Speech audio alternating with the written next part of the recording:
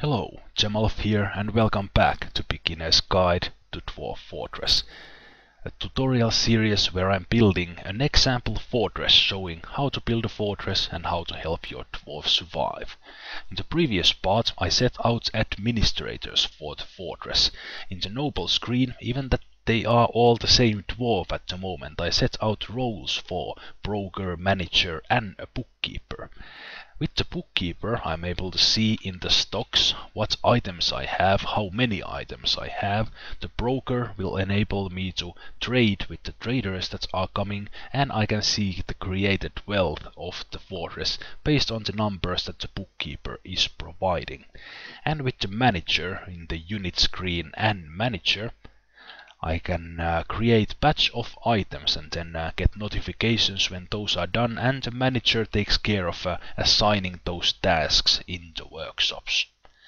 This time I'll be creating bedrooms for the dwarves, possibly processing some plants plants when those uh, pigtails and sweet pods come out of the out of the farms. Um, I'll also start planning out a room for the turkeys and I actually think I will do it right now. I want those rooms to be right here next to the kitchen.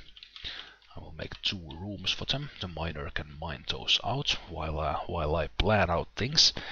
And um, also uh, I want to redesign my entrance a bit, or actually I want to redesign where the trade depot goes because uh, I had a little design flaw here. Mm. Because the wagons of the caravans cannot travel over these, uh, these traps.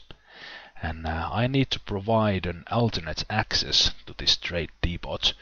And while I'm doing that, I will actually uh, move the trade depot elsewhere, creating it in a safe way. So I will start uh, plans for that, with the idea that the traders will be able to access the trade depot from the outside, while uh, that is not an open access to my fortress. So I will block the path between my fortress and the trade depot uh, with a drawbridge when I when I don't want it to be uh, completely open. But the traders will find it. But uh, that'll be more clear when I start to dig that out and when I start to uh, lay those plans there. Let's go downstairs to my dining hall and then uh, one room below is my dormitory and uh, the dwarves are are completely happy sleeping in a common bedroom area like this, the dormitory.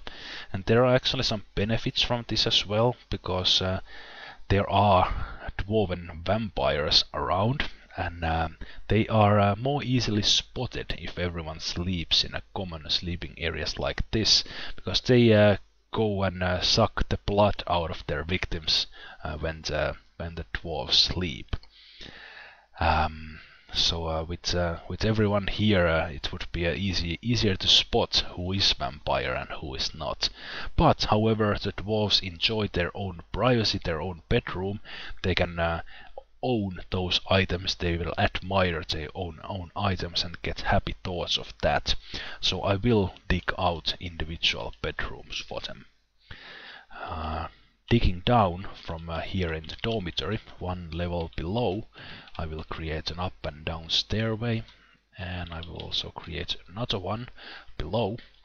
On its simplest level, uh, bedroom for a dwarf is uh, one square, that is the door, so that the bedroom is uh, closable, and then uh, one other square with bed. Uh, actually, I could even uh, just remove the door and just have one square with a bed and call that a bedroom for the dwarf. But uh, uh I'll go a bit farther than that and uh, add two squares for the bedroom, giving bed and then uh, something to store items to, a coffer, and then a cabinet for each dwarf. Three squares. And there are many ways to do this. bedroom design. You can you can create uh, any kind of rooms you want. You can give everyone a 3 by 3 rooms. You can go as far as giving everyone 5 by 5 rooms.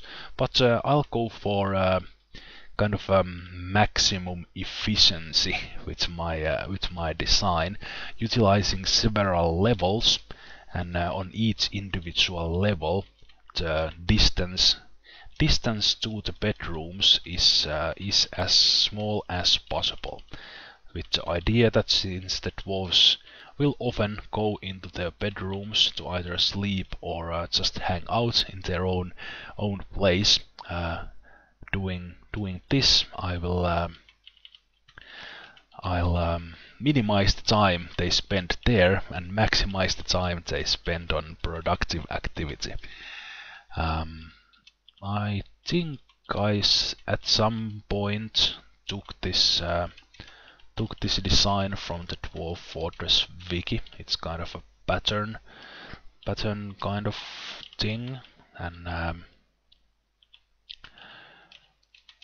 as said you can uh, you can do these things in a, in many ways. I've just uh, gotten used to this one. I don't always do do it like this but uh, on the other hand quite often quite often I do and uh, this will uh, make a whole lot more sense when uh, when I'm uh, when I'm actually building these bedrooms and furnishing these bedrooms with um, with um, beds and uh, beds and those other other furniture.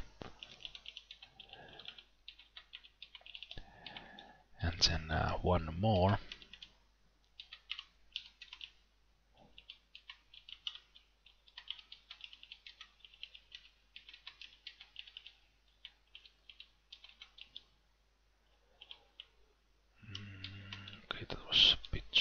short.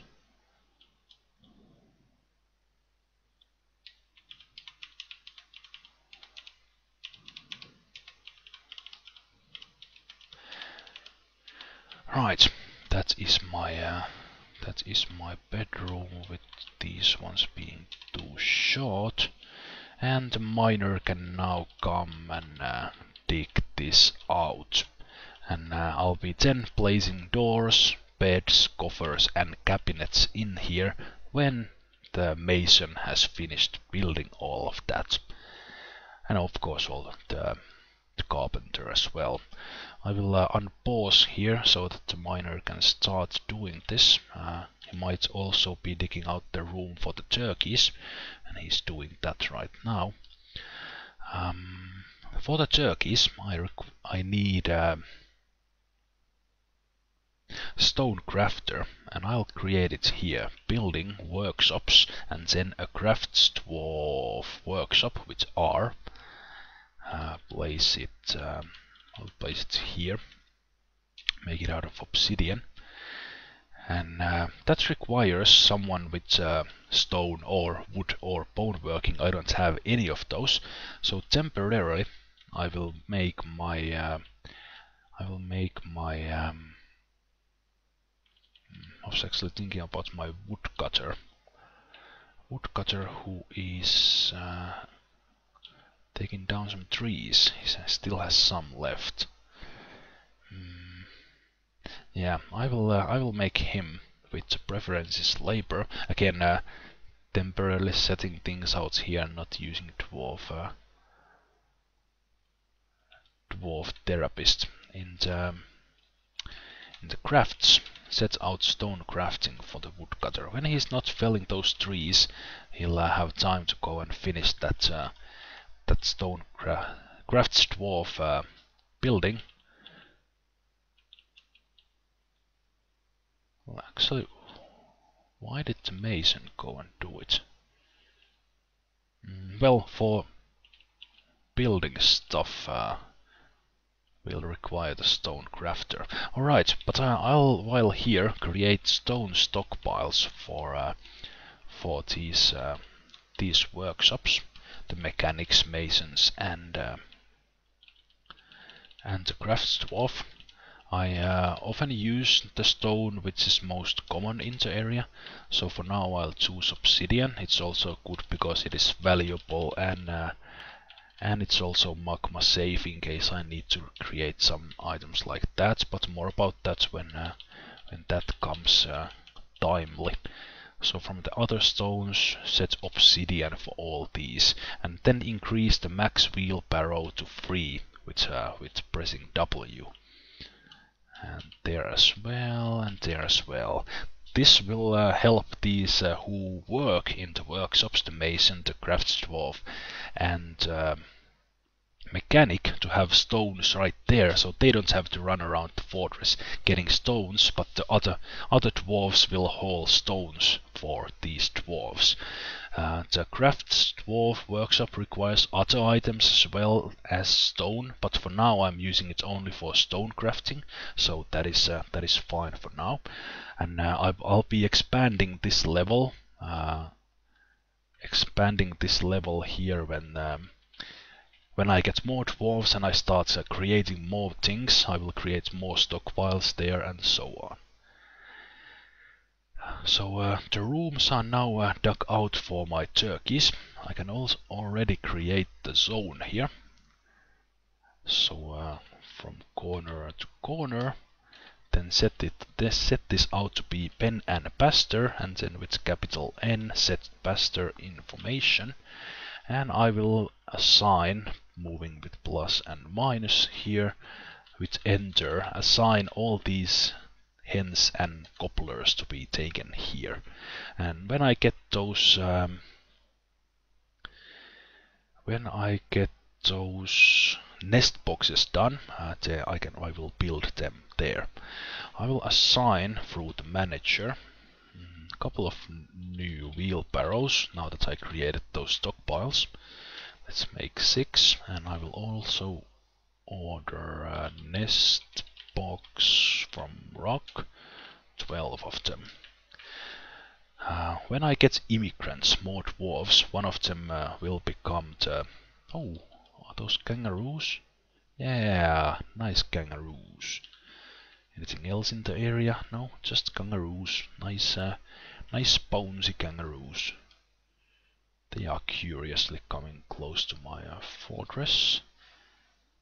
Oh, the cat is going there. Looks like the kangaroos are very, very peaceful, because even my dwarves are not afraid of them. Right, the turkeys are moved into place. I have queued up uh, building of the nest boxes.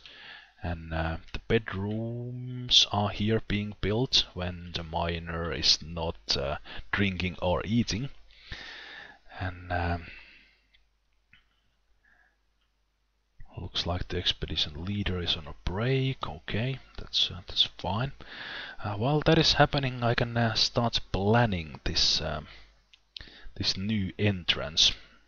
So the idea is that uh, I'll create a path, uh, free free wide path from the outside, either from here or I can duck it out from here, from further away, um, to a to a area where I will build my trade depot and then uh, I will create a path from my uh, fortress to that place. Yeah, I think I will create it here. Let's make it like that. So here, here'll be a 5 by 5 area. And here in the middle, uh, let's see that I don't have anything below. I don't. I will create. Actually, no, no, no. This is this is not this is not the place where I want this. I need one more level here. Actually, I need I need several. Mm. Need to think. Need to think if I want to expand this room to be a, to be something like barracks, that would be there. Mm. How about we create trade depot there. 5 by 5 area.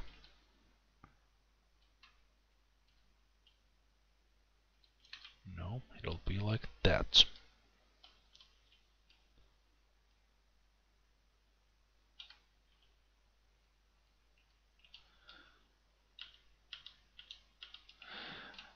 Okay this is why I don't designate things while uh, without pausing the video because I can't can't think.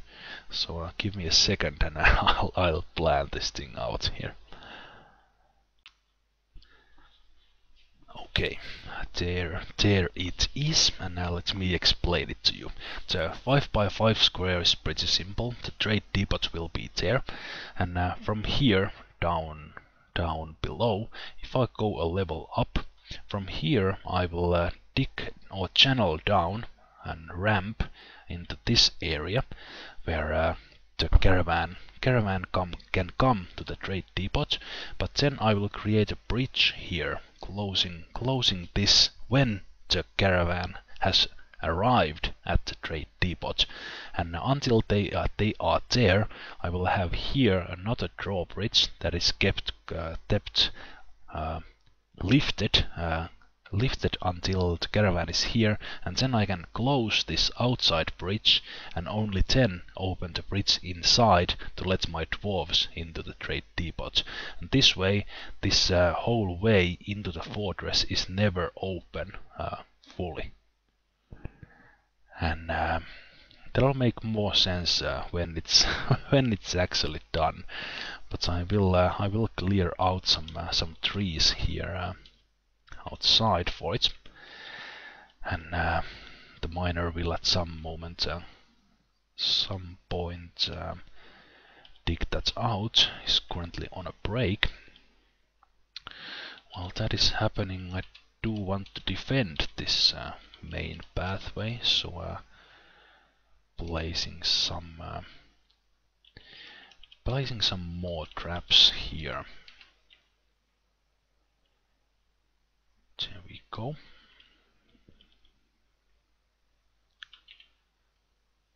And the wood cutter has so far been busy cutting down wood. Mm.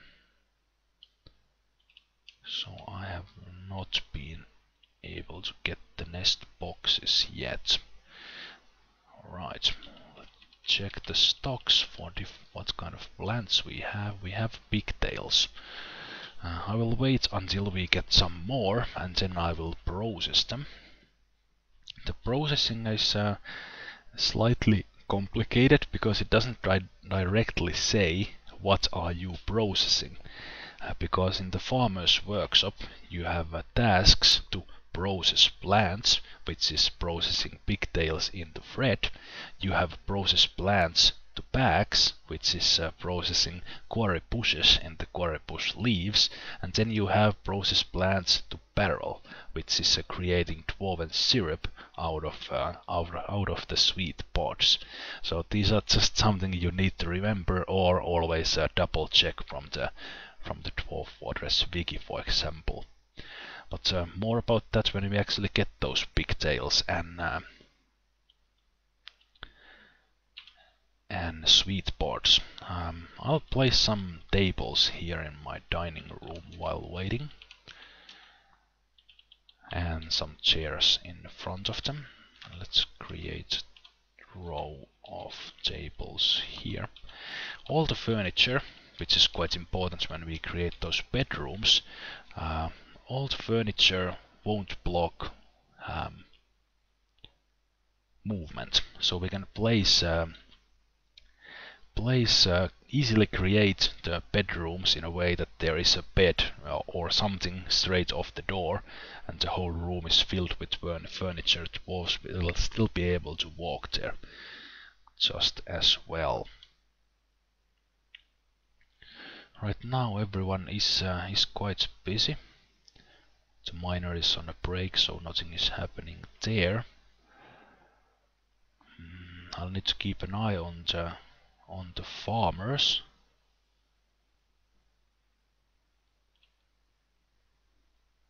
Yeah, I don't know if, if what is that? No unit list.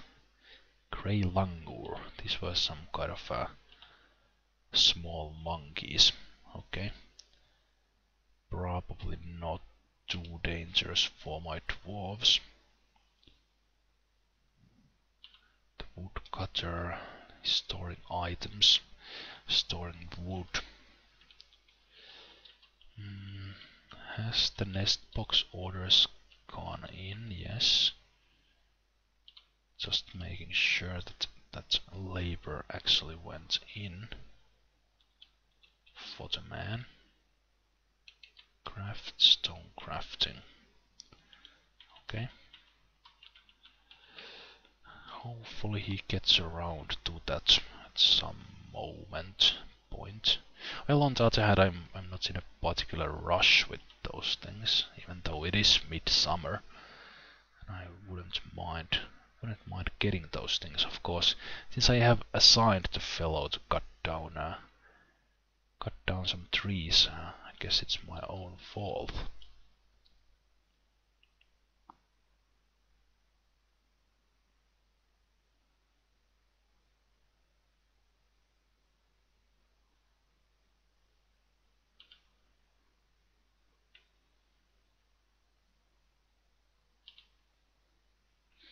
Hmm. looks like the carpenter has more time. So let's make him the stone crafter. Do that.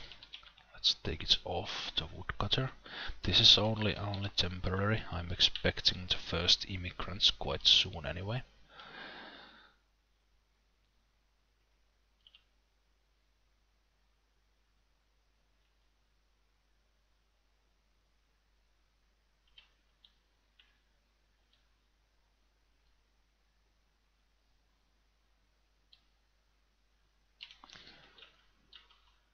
miner is working on the bedrooms, however a uh, whole lot of things for those bedrooms, the coffers and cabinets are uh, still waiting.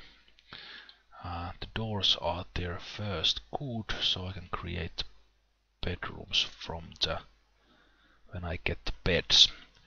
Uh, one thing I haven't done is uh, gem stockpile, so let's create that. B for stockpiles and then E for gems and I will create it to be 4 by 4 and that's it. With that stockpile the dwarves will gather these, uh, this case mostly bandfire opals into that stockpile and then I will need um, jeweler's workshop and someone with gem cutting labor to uh, cut those gems. But uh, I will wait and see if uh, if I get the gem cutter from the immigrants at some moment and then start cutting gems with a skilled dwarf instead of trading trading one from the from the ground up.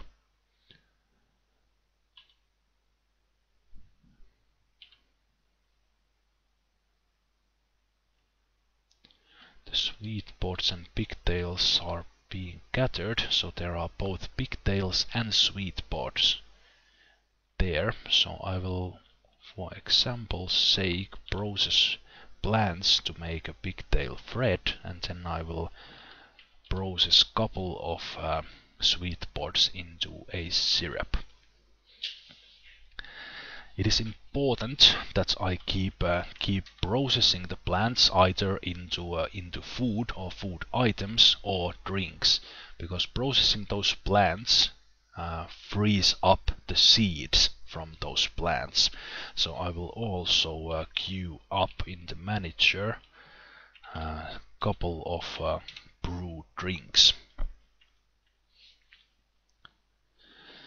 And we have some migrants as well. I'll uh, quickly take a look at what they are here in this video and I will then end this video and on the next video talk more about the migrants or actually see uh, see how I how I manage them what uh, what uh, what labors I give them unless they come readily skilled. I will start looking a bit on uh, who might be in the military and things like that. But uh, let's see let's see what we have.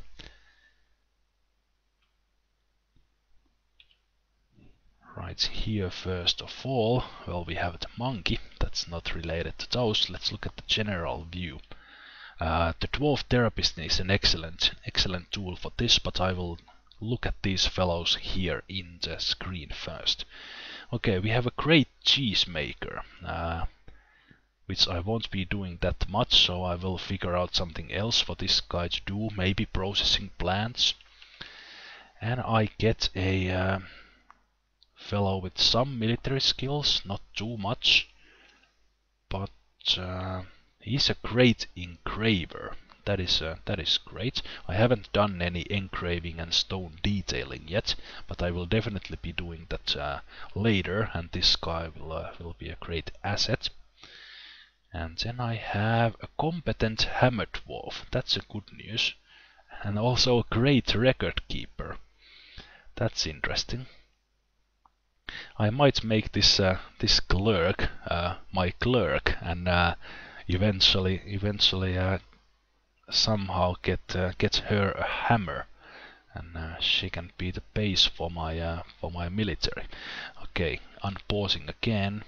The number of immigrants you get on the first year before the trade caravan arrives, it's somewhat random.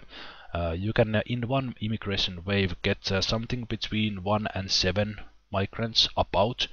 Um, and then after the first year after the caravan has uh, been here the amount of immigrants depends on the wealth your fortress is creating and then uh, on your uh, on your civilization uh, taken that your civilization is live and kicking so that there are migrants migrants that can come into your fortress. And the created wealth is uh, kind of uh, creating attraction for the for the dwarves in the other fortresses to come uh, come to your fortress from your civilization. And uh, here we have adequate dresser and adequate potter. And we have adequate strand extractor, so not not not very highly skilled. And uh, looks like we have. Oh, I got I got quite lucky here. I think I had uh, five or five or seven of them. Novice butcher, novice milker, novice beekeeper, so not not very skilled dwarves. This is very common here in the in these two two random random migrant waves. And I think that is it. So if I look at the status, the population is 14. So I got 7 migrants. That is uh, that is on the top end of these random waves. So uh, I was quite quite lucky there. With more dwarves I can do more things, but that also means that I have more mouths to be uh, fed and uh, fed and kept uh, filled with alcohol. So uh, more more things for me to do as well.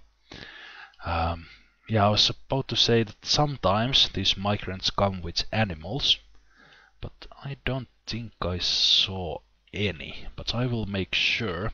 So I will take this uh, pen and pasture here, press N, and uh, go to the end of the list and yes indeed these migrants didn't come with any animals. That's actually quite rare. Uh, let me see that I, I didn't miss any. No those are just the monkeys. Yeah I didn't uh, I didn't get any. Uh, the migrants are a good source of uh, various various animals and if you are lucky you get females and males of the of the same animal and then they start breeding but uh, that didn't happen.